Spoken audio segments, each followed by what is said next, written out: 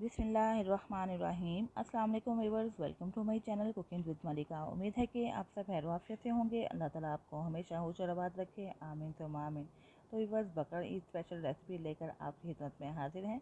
बहुत ही मज़ेदार थी, बहुत डिलीशियस बहुत ही जल्दी बन जाने वाला। आज हम पुलाव रेडी करेंगे और वो है कीमा पुलाव। बीफ कीमा पुलाव कैसे बनेगा इन आपसे ज़रूर शेयर करूँगी। रेसिपी अच्छी लगे तो लाइक और शेयर कर दीजिएगा। और अगर आप चैनल पर नए हैं तो चैनल सब्सक्राइब करके बेल आइकन प्रेस कर दीजिएगा, ताकि आपको मेरी नई नई वीडियोस की नोटिफिकेशन फ़ौरन से मिल सके, जो फ्री ऑफ़ कॉस्ट है। तो चलिए बस जिस बर्तन में आप कीमा पुलाव बनाना चाहते हैं। उसको रख देते हैं फ्लेम के ऊपर और इसके अंदर शामिल कर देते हैं हाफ़ कप ऑयल ऑयल गर्म हो चुका है, इसके अंदर एक टीस्पून शामिल कर देते हैं ज़ीरा। चंद टुकड़े हैं दालचीनी के, दो तेज़पात हैं, दो अदर हरी इलायची हैं, चार लौंग है और साथ ही एक बड़ी इलायची है। इन सारे ही साबुत मसालों को हम फ्राई करेंगे ऑयल के अंदर। तकरीबन एक मिनट के लिए। तो यहाँ पे बस अब हम प्याज शामिल करने लगे हैं। प्याज मैंने ले लिया है एक अदद मीडियम साइज़ का। इसको हमें फ्राई करना है। लाइट गोल्डन कलर आ जाने तक फ्राई करेंगे। बहुत ज़्यादा फ्राई नहीं करेंगे, क्योंकि इसके अंदर हमने कीमा भी शामिल करना है, उसको भी भूनना है। तो जैसे जैसे हम बाकी चीज़ें फ्राई करते जाएँगे, प्याज भी अच्छे तरीके से भूनता जाएगा। तो बस बस यहाँ पे 300 ग्राम कीमा ले लिया है और इसको हमने मिक्स कर लिया है प्याज के साथ। कीमा मिक्स करने के बाद इसके अंदर शामिल कर देंगे दो टीस्पून भर के लहसुन, अदरक का पेस्ट। तो लीजिए बस यहाँ पे मैंने दो टीस्पून शामिल कर दिया है लहसुन, अदरक का पेस्ट। इसको भी मिक्स कर लेते हैं और फ्राई कर लेते हैं। लहसुन, अदरक के पेस्ट के साथ हमने कीमा को फ्राई करना है तकरीबन दो से तीन मिनट के लिए ताकि लहसुन, अदरक का कलर भी चेंज हो जाए थोड़ा सा गोल्डन ब्राउन आ जाए और कीमा भी अच्छे तरीके से भून जाए। तकरीबन बस दो से तीन मिनट गुजर चुके हैं। मीडियम फ्लेम पे हमने सारी चीज़ों को फ्राई कर लिया है और आप देख सकते हैं कि कलर सबका ही चेंज हो गया है। तो चलिए वर्ष अब हम इसके अंदर शामिल कर देते हैं दो अदद हरी मिर्ची, जिनको मैंने कट कर लिया है, और दो अदद ही हैं टमाटर, जिनके छिलके उतार के इनको बारीक बारीक कट कर लिया है। इन दोनों ही चीज़ों को अच्छे तरीके से मिक्स कर लेते हैं कीमे के साथ, और व्यूवर्स, अब वक्त आया है इसके अंदर स्पाइसी ऐड करने का। हाफ़ टी स्पून इसके अंदर शामिल कर देते हैं सूख मिर्च, जो कि पीसी हुई है। दो टीस्पून ऐड कर देते हैं नमक नमक आप अपने टेस्ट के अकॉर्डिंग भी ऐड कर सकते हैं। यहाँ पे फ्लेम को आपने बिल्कुल स्लो कर देना है, ताकि स्पाइसेस बिल्कुल ना जल सके। एक टीस्पून भर के शामिल कर देते हैं उस धनिया पाउडर जो कि रोस्टेड है। हाफ़ टी स्पून शामिल कर देते हैं ज़ीरा पाउडर ये भी रोस्टेड है। हाफ़ टी स्पून ही इसके अंदर पिसा हुआ गर्म मसाला ऐड कर देते हैं और यहाँ पे हाफ़ टी स्पून शामिल कर देते हैं सौंफ पाउडर सौंफ भी ड्राई रोस्टेड है, उसके बाद मैंने इनका पाउडर बनाया हुआ है। तो चलिए बस इन सारे पाउडर स्पाइसेस को भी हम अच्छे तरीके से मिक्स कर लेते हैं और भुनाई कर लेते हैं।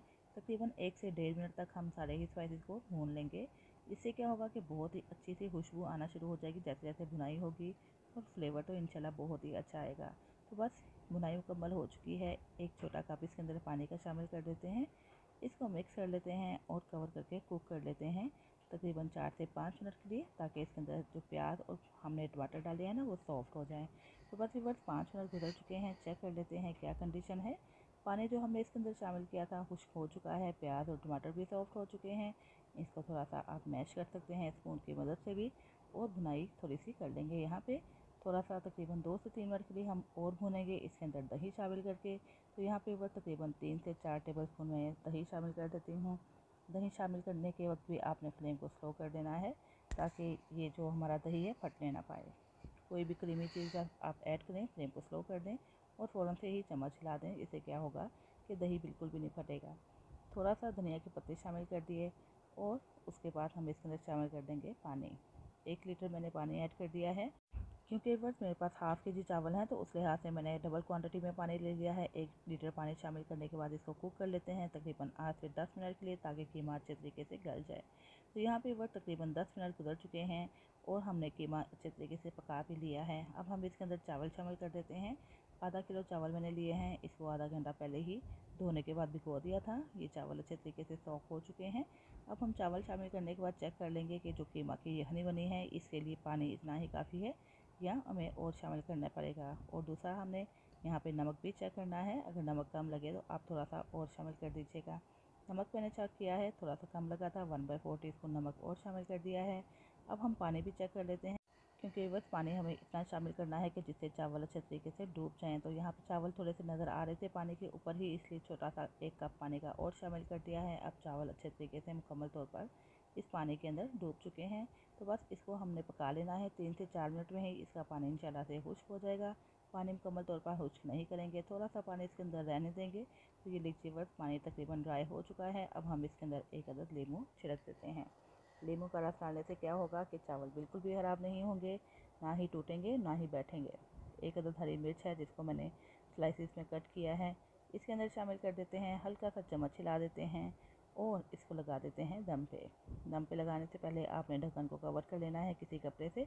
ऊपर हैवी चीज़ रख दीजिएगा। बीस से पच्चीस मिनट के लिए दम पे लगाने के बाद हम देखेंगे कि हमारे मज़ेदार से चावल कैसे रेडी हुए हैं। तो यहाँ पे बस तकरीबन बीस मिनट गुजर चुके हैं। दम अच्छे तरीके से आ चुका है। एक तेज़ धार वाला चम्मच आपने लेना है और साइड से चम्मच को हिलाना है। और ये देखिए बस कितने कमाल के खिले खिले थे, मज़ेदार से चावल रेडी हैं। अच्छे तरीके से पक भी चुके हैं और खिले खिले से भी बने हैं, बिल्कुल भी नहीं बैठे हैं। तो वीवर्स अगर आप भी इन सारे ही ट्रिक्स एंड टिप्स को फॉलो करते हुए चावल बनाएँगे तो आपके चावल बिल्कुल इसी तरह खिले खिले और बहुत ही ज़्यादा लजीज और मज़ेदार बनेंगे। तो चलिए वीवर्स अब वक्त आया है इसको सर्व करने का। इसको हम सर्व कर देते हैं एक प्लेट में। तो ये लीजिए वीवर्स बहुत ही कमाल के मज़े के चावल रेडी हुए हैं। इसको आप सर्व करें किसी भी रायता के साथ, टमाटर की चटनी के साथ सैलड के साथ और खूब इंजॉय कीजिए। उम्मीद है वीवर्स आपको मेरी ये रेसिपी पसंद आई होगी। इस रेसिपी को ट्राई करने के बाद आपने फीडबैक भी देना है कि जो आपने कीमा पुलाव बनाया, वो कैसा बना। ये स्पेशल रेसिपी है, मेहमानों के आ जाने पे बनाइए। घर में पार्टी है, कोई फ़ंक्शन है तो मज़ेदार सा कीमा पुलाव बनाइए, जो बहुत जल्दी बन जाएगा और खूब इंजॉय कीजिए। इसको हम डेकोरेट कर देते हैं अनियन के रिंग्स के साथ और थोड़े से धनिया के पत्ते स्प्रेड कर साथ ही विवर्त इजाज़त चाहती हूँ, फिर हाजिर होंगी एक नई रेसिपी के साथ। अपना बहुत सा ख्याल रखिएगा और मुझे भी दुआ में याद रखिएगा। अल्लाह हाफिज़।